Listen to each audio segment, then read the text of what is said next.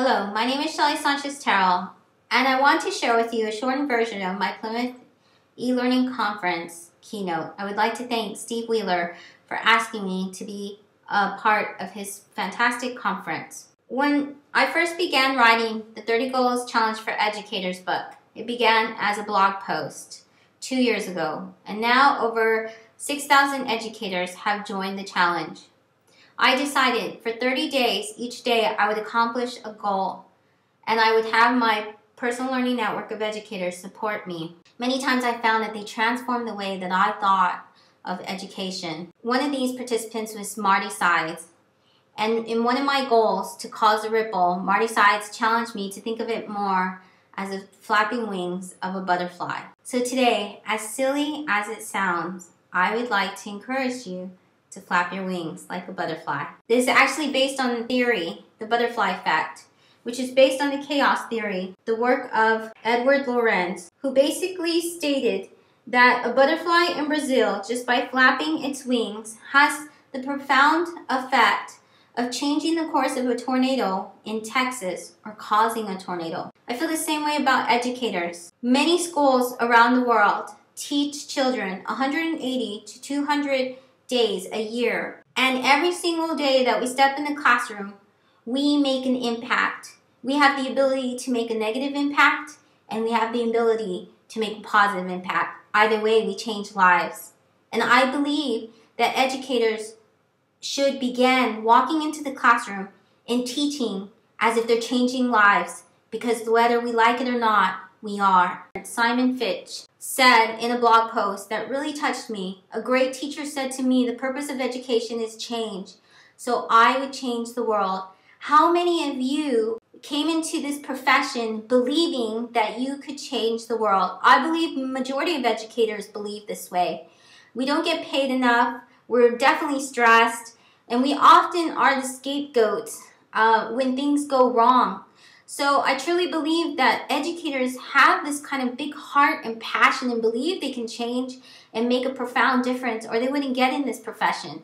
But somewhere along the way, the media, parents, administrators, the different types of things we have to deal with, the time we have to give, we just get burnt out and we begin to lose sight and we begin to lose our passion.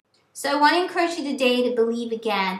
And not only do I want you to believe, but I want you to think of a mission statement, of a vision of how you believe education changes the world. And then I want you to be able to communicate this to your local community, educators, parents, administrators, and especially your students. Many of us believe that we're only one person, we're only a teacher, and we can do only so little. But I believe that we can change the world, and I believe every single day that I wake up, that's my mission to be a world changer, and I believe I really can do this. And this was translated to me from the first world changer I ever met, which was my father. I come from uh, Mexican American heritage. Many, many generations, my family comes from poverty, they come from um, high crime rates, they come from drug abuse, teenage pregnancy, and welfare systems. And my dad decided that his five girls would be different. He decided all of us would go to college and we would graduate from college. And so we were the first generation who graduated from college, and many of us have our masters. My dad didn't graduate from college and he didn't have the money to send us, but he believed that this could happen. And because he believed and he worked towards this goal, it did happen.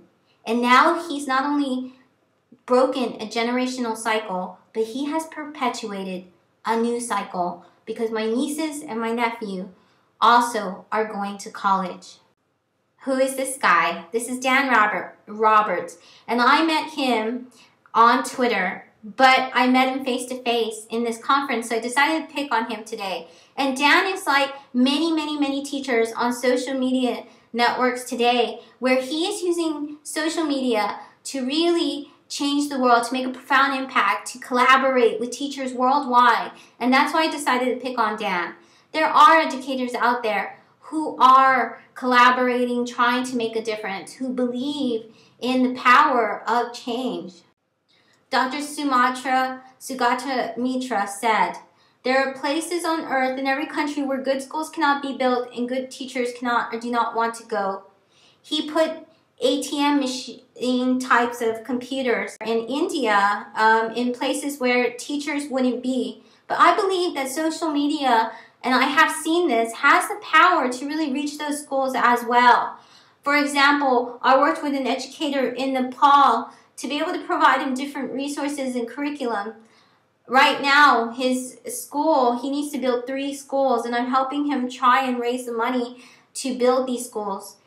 I've met teachers from different developing countries that write me daily and say thank you so much for sharing the resources that you do. I can use them in my classroom. We don't have this kind of training. We don't have this type of professional development opportunities. And so for them, it's really something that that is really important to them that makes a difference. Though something that you share on Facebook, LinkedIn, on Twitter, five minutes later, one of these teachers can use in their classroom. John Davitt, who also was a keynote, who does amazing things with technology all over the world.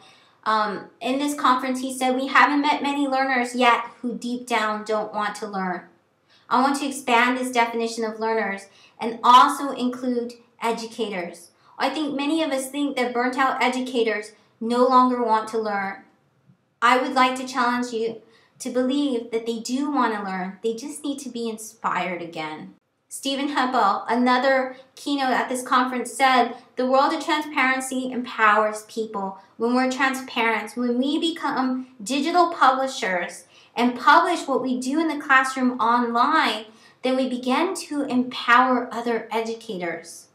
We have the power through free social media tools to impact educators around the world, to collaborate, to begin our own grassroots movements, to take that vision that I asked you to think about at the beginning, those mission statements, and to really send these messages. Already, politicians, celebrities, um, media gurus are using social media in powerful ways and they have an advantage over us because they were taught in their careers they were groomed to be able to reach their audience to be able to send an effective message so they know how to do it. I would like to share my background in communication theory and marketing um, which was part of my bachelor's degree and to kind of encourage you today to be able to look at your role as an educator on social media in a different way so that way you can try to become viral. And yes, we do need viral educators uh, because they're already sending viral messages about education. But we have the power to do that too. And when we begin to become viral and spread our message around, then we have the power to really transform the education systems around the world. We can make an impact. I want to show you a few of these numbers. I want you to think about them and what they can mean. The first number, 550 million you may have used, these are the amount of users on Facebook. And remember, when we try to hit an audience, we're not necessarily hitting other educators. We're hitting parents. Remember, um, we are reaching those who all are part of education. And because everyone has been a part of education, has had an education or gone through the education system, many, many, many people believe that they have these ideas of what transformation should look like. So I want you to think of your an audience including more and more people. So these are the Facebook users. In LinkedIn, there's 997,000. It's something that um, I heard another educator say on Twitter. Um, YouTube views a day are 2 billion. The amount of views um, the average person sees on YouTube is 15 minutes a day. If you publish a video, you could be part of that 15 minutes a day. 22 countries and in 24 languages are the different ways that YouTube reaches people and audiences. Can you see the potential that you have? You can become a viral educator. Chris Lehmann said it's no longer enough to do powerful work if no one sees it. But can educator messages go viral? Yes. One of the greatest examples is the Shift Happen videos. This was by two educators in Wisconsin, Karl Fisch and Scott McLeod. Over 20 million views on YouTube. There are various versions, and all of them have over a million or 100,000 viewers. So, yes, our messages can go viral.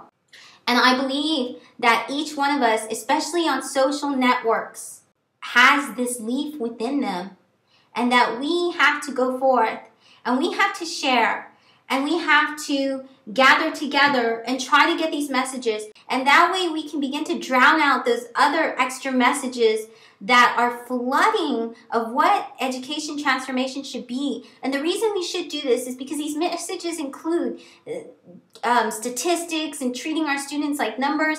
And, and I really believe that the education system right now, it really needs us to go out there and to really show what does this look like. Our students aren't numbers, but how do we convey our messages effectively? What real education transformation looks like? How what real authentic learning looks like with students doing things collaborating walking around um, really doing cooperative learning and all of this. Well a few things to think about. First of all you need to think about your audience. And your audience remember includes students parents administrators um, society. So think of your audience when you're publishing a message anywhere on a social network, whether it's a tweet, whether it's a video on YouTube. Ask many people before you publish it um, from different types of that represent the different types of stakeholders what they think about it. We live in a society that's really used to different types of images and powerful images and powerful stories and multimedia. So yes, we, we have to make it visually appealing. We have to appeal to the senses, share those videos that make a profound impact. Um, share those audio clips, those that music that really just kind of meshes together and creates something really beautiful that really will help inspire our message. Um, this is something that I think a lot of educators don't think of. And sometimes we have the tendency when we present and stuff to just cloud our, our images with many, many, many, many words. But the reality is that many people would just take about three to five major points from any type of presentation. So really, we just need to keep reiterating the those major points that we want. One of the most powerful things you can do is share stories, real stories how social media or how education is and, and how you show what it does inside your actual classroom. Show what this learning looks like. If you can and parents give you permission, then share your students loving, enjoying the lessons, things like that. And you can also share your stories of of the troubles and the struggles that you have because other educators will appreciate this and they'll be able to learn from it. Even if they don't use your exact lesson or whatever you're sharing inside their classroom the exact same way, it doesn't matter because they can apply it and they can adapt it. And, and this will really help them. And also, you know, when we begin to share and be very transparent, then we're able to show, um, establish a kind of communication and then parents and other stakeholders begin to see we are really trying, we really love what we do. And this is a student story that I would like to share with you. Marty Sides interviewed her son Riley as part of the challenge to know your students and asked educators how they would teach her son Riley. Listen to his story. Hello, my name is Riley. What grade are you in? I am in fourth grade. What do you think makes a good teacher? Um, that they come around and look. If you have troubles, you should um, tell the teacher, and they should actually help you. Is there anything else you want to say about yourself that you think we should know? That I do have dyslexia and ADHD. And what's the other thing we learned about you? That's that.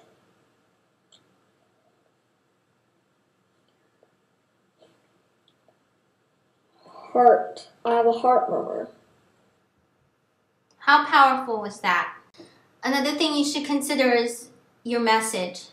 Some of us, we try to make shortcuts and we'll share the exact same message on Facebook and Twitter the same way. And we don't think that the audience in Facebook doesn't understand hashtags or we share several links and that doesn't really translate well on Facebook. So we really have to know the medium, observe it, lurk, see what really will make your message powerful before you share it. But if you don't listen to any of this, listen to this. Please convey your passion. Passion has the ability to transform hearts one of the educators at this conference went up and spoke, and that's all he did. He didn't even have a presentation. But everybody in the audience listened to him because he conveyed this passion for what he was doing so well. One of the greatest keynotes I ever saw was David Crystal, a famous linguist, and all he does is get up with the microphone. When you're passionate about something, it really translates. So I hope that I have convinced you as an educator on social networks that the power we have through networking is humbling, frightening, and exciting. Use it well. This is a quote by Ruth Cohenson at T Roof during one of our Ed Chats.